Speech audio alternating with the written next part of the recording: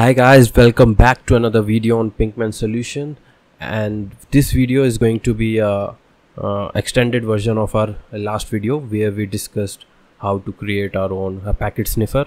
So if you remember in the last video we discussed how we can use the Go packet library and uh, capture packet on our interface going through the network.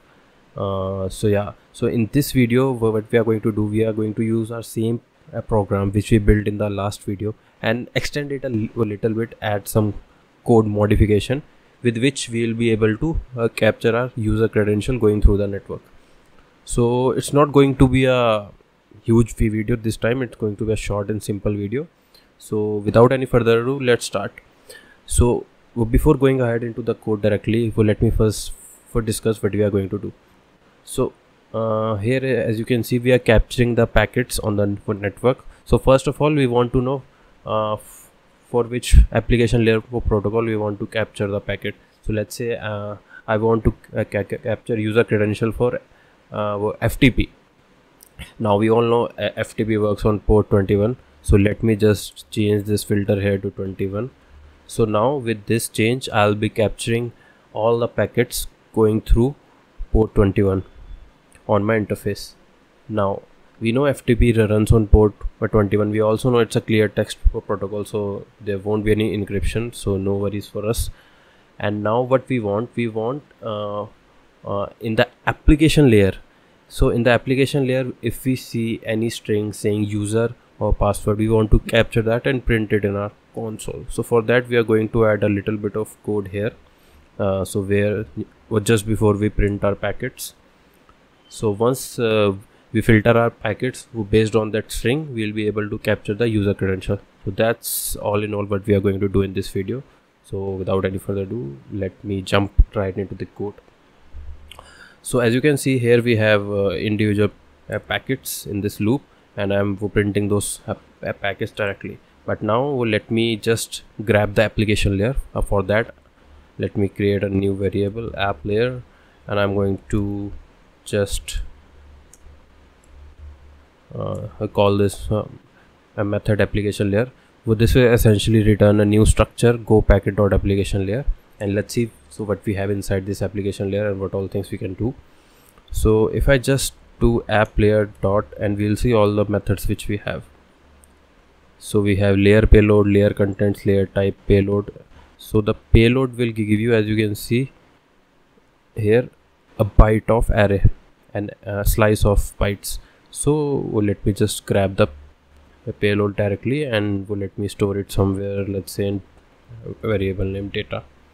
So now I, I have the application layer data in this variable data. Uh, so now the thing only thing that is remaining is for me is to uh, filter the data uh, or grab or print only that data which has the user uh, I mean the string user or a password.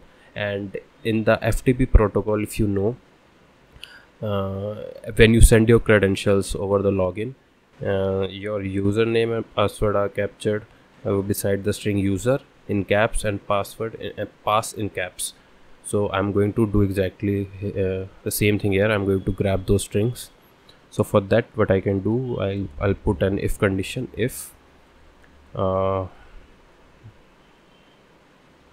byte dot bytes dot contains. So this who contains who method will take an slice of bytes and a sub slice so which I want to uh, check whether this byte slice who contains this sub slice or not. If yes then I'll uh, filter them.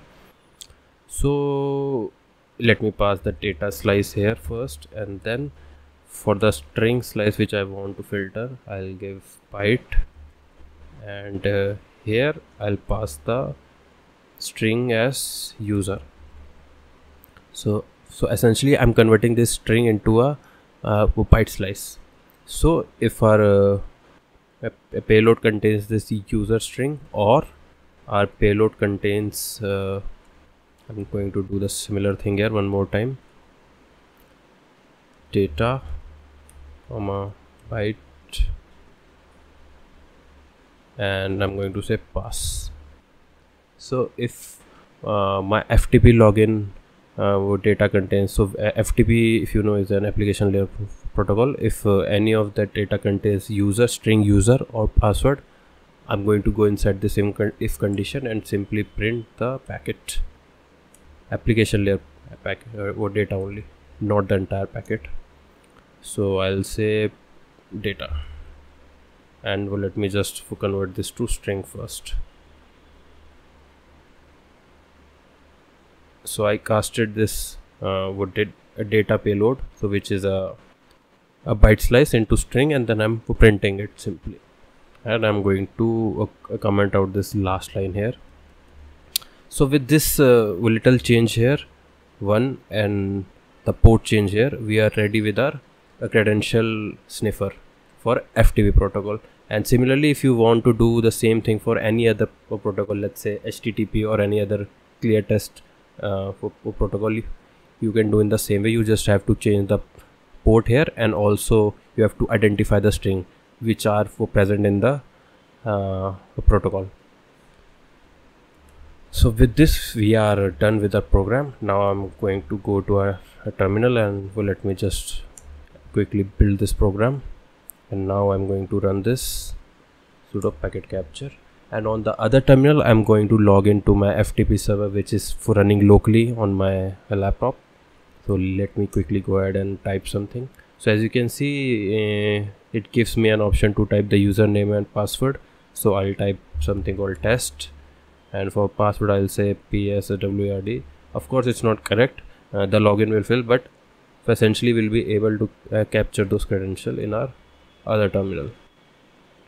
So if I press the enter. It says ftp uh, 530 login incorrect but on the other terminal we should be able to see. Oops we got some error. Okay Let, let's see what happened. Something on line 51 oh sorry. Mm, okay let's say uh, so whenever we are capturing packets we need to make sure that our application layer is not empty. So if it is nil then I'm simply going to continue for this loop endless loop. So now I'll build this again. Enter. Let me exit out of this FTP and log in again. Test. Password. Voila. We have we have captured our username and password on this terminal so yeah. So that's how you implement uh, a credential sniffer uh, uh, for the plain text uh, protocols uh, by just uh, modifying few lines of our packet sniffer. So yeah. Go ahead and play with it. See what you can implement with this. Till then see you in the next video. Bye bye